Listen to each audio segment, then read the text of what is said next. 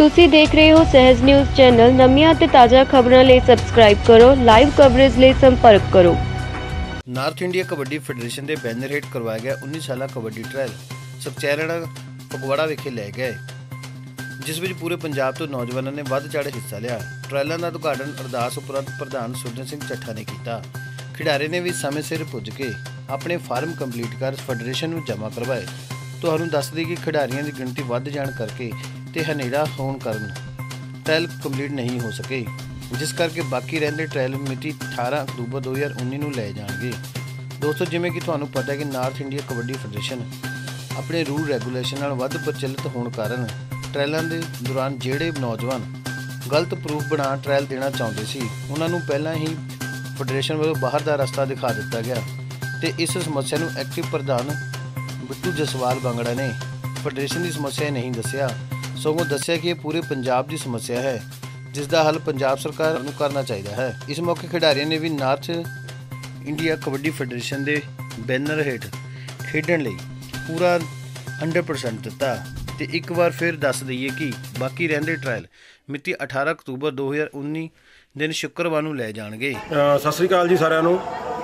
ਅੱਜ ਅਸੀਂ ਟ੍ਰਾਇਲ ਰੱਖੇ ਸੀ, ਜਿਹਦੀ ਅਸੀਂ ਐਡ ਪਿਛਲੇ ਸਮੇਂ 'ਚ ਦਿੱਤੀ ਸੀ ਨਾਰਥ ਇੰਡੀਆ ਕਬੱਡੀ ਫੈਡਰੇਸ਼ਨ ਵੱਲੋਂ। ਅੱਜ ਅਸੀਂ ਇੱਥੇ ਸੁਖਚੈਨ ਆਣਾ ਸਾਹਿਬ ਗੁਰੂ ਘਰ ਦੇ ਵਿੱਚ ਆ ਗਰਾਊਂਡਾਂ ਦੇ ਵਿੱਚ, ਜਿਹੜੇ ਟ੍ਰਾਇਲ ਸੀ ਅੰਡਰ 19 ਦੇ 1 ਜਨਵਰੀ 2001 ਤੋਂ ਜਿਹੜੇ ਬਰਥ ਵਾਲੇ ਬੱਚੇ ਸੀ, ਉਹਨਾਂ ਦੇ ਟ੍ਰਾਇਲ ਅਸੀਂ ਲਏ ਆ ਤੇ ਕੁਝ ਬੱਚਿਆਂ ਦੇ ਲੈ ਗਏ ਨੇ ਸਮੇਂ ਦੀ ਘਾਟ ਕਾਰਨ। ਜਿਹੜਾ ਨੈਕਸਟ ਟ੍ਰਾਇਲ ਨੇ ਉਹ ਅਸੀਂ ਹੁਣ 18 ਤਰੀਕ ਨੂੰ ਰੱਖੇ ਨੇ ਐਸੇ ਨੂੰ, ਅਕਤੂਬਰ ਮਹੀਨੇ ਦੀ ਨੂੰ। ਤੇ ਉਹ ਦੁਬਾਰਾ ਲੈ ਜਾਣਗੇ। ਬਹੁਤ ਵਧੀਆ ਅੱਛੇ ਬੱਚੇ ਆਏ ਔਰ ਸਟਰੈਂਥ ਵੀ ਸੀ ਜਿਹੜੀ 500 ਬੱਚੇ ਦੀ ਸਟਰੈਂਥ ਸੀ ਮੇਰਾ ਖਿਆਲ ਇੰਨੀ ਹੋਣੀ ਇਹ ਇਹ ਤੋਂ ਵੀ ਜ਼ਿਆਦਾ ਸੀ ਸ਼ਾਇਦ।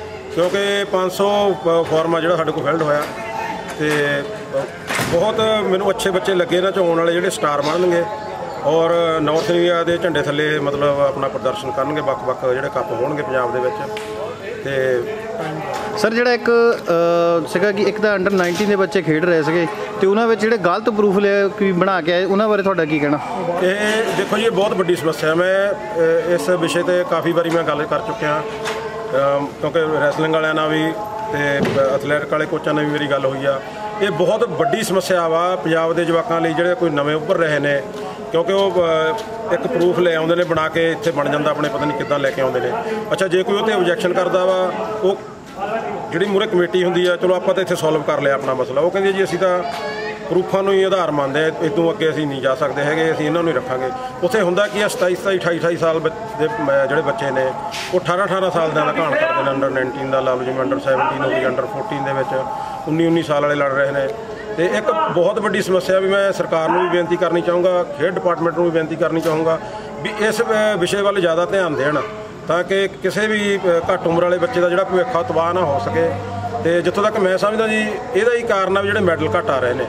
ਕਿਉਂਕਿ ਬੱਚੇ ਥੱਲੇ ਵਾਲਿਆਂ ਦਾ ਭਵਿੱਖ ਮਾਰ ਦਿੰਦੇ ਨੇ ਉਹ ਦੇਖ ਦੂਖ ਕੇ 2-4 ਸਾਲ ਕਰਕੇ ਸਪੋਰਟਸ ਉਹ ਛੱਡ ਜਾਂਦੇ ਨੇ ਤੇ ਉਹ ਜਿਹੜੇ ਅ, ਜਿਨ੍ਹਾਂ ਨੇ ਉਮਰ ਵਧਾਈ ਹੁੰਦੀ ਆ ਜਾਨੂੰ ਉਹਨਾਂ ਦਾ ਸਮਾਂ ਲੰਘ ਚੁੱਕਾ ਹੁੰਦਾ ਮੈਡਲ ਲੈਣ ਦਾ।